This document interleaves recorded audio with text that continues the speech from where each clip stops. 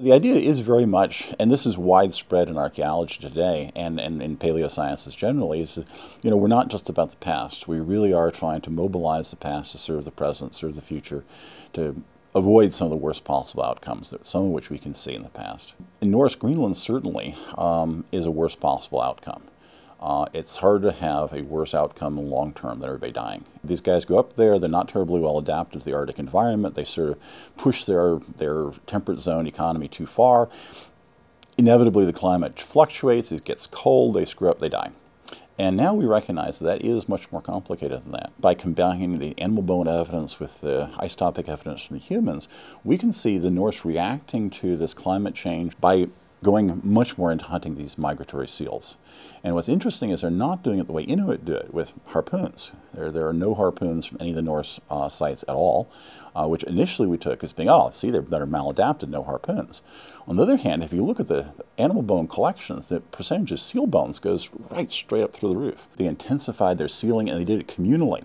As far as we can tell, they did something similar to what the Faroese still do in hunting pilot whales, of getting boats together and driving the, the animals either up on the beach or more likely for the Norse into nets strung across narrows. In a way, it's a success story.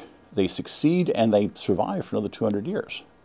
But then what we're suspecting is happening is, of course, there's a bill for that their survival is predicated by getting a large portion of their community, especially young active people, down from where their farms are in the inner part of the fjords out to the outer fjords where the seals are, and hunt those seals, kill those seals, and then bring the seal bodies, the carcasses, back inland. And just some back of the envelope calculations suggest we're talking probably a solid month of effort in the springtime of these guys and gals going back and forth, back and forth through these deep fjords.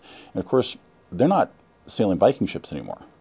They don't have the wood to construct something that size. And we know from both the documents they left behind and a few bits and pieces of archaeological evidence, what they're sailing is something they call a six-oared boat, which is sort of like a big rowboat uh, much smaller craft than the Viking vessels, and certainly less seaworthy, especially if it's loaded down with seals. Somewhere around 1430, 1435, somewhere in there, you have this flip over takes place in storminess, and the, you go from having a, a calm mill pond like North Atlantic to one which is like today, or even worse.